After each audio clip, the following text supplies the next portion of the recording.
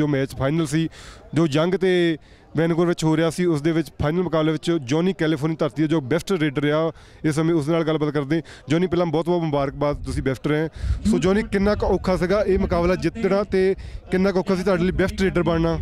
ਬਹੁਤ ਔਖਾ ਜੀ ਸੀ, ਸਾਰੇ ਪਲੇਅਰ ਤਕੜੇ ਆ ਤੇ ਆਪਣਾ ਮੈਚ ਪੂਰਾ ਫਸਿਆ ਸੀਗਾ ਤੇ ਔਖਾ ਤਾਂ ਸੀ ਪਰ ਬਾਬਾ ਜੀ ਮੇਰ ਨਾਲ ਆਪਾਂ ਬੈਸਟ ਆ ਗਏ ਤੇ ਜਿੱਤ ਜਿੱਤ ਵੀ ਪ੍ਰਾਪਤ ਕਰ ਲਈ। ਤੁਹਾਡੀ ਟੀਮ ਬਹੁਤ ਬੈਲੈਂਸ ਟੀਮ ਸੀ ਵੈਨਕੂਵਰ ਟੀਮ ਵੀ ਨੋ ਡਾਊਟ ਬਹੁਤ ਬੈਲੈਂਸ ਟੀਮ ਸੀ।